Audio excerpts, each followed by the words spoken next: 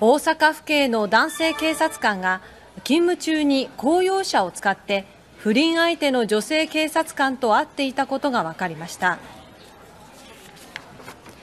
大阪府警によりますと福島警察署の地域課長で48歳の男性警部は先月当直勤務中に捜査車両を使って交際していた部下で33歳の女性巡査長と会っていました。当時男性警部は当直責任者でしたがおよそ2時間警察署を離れていたということです。男性警部と女性巡査長はともに既婚者で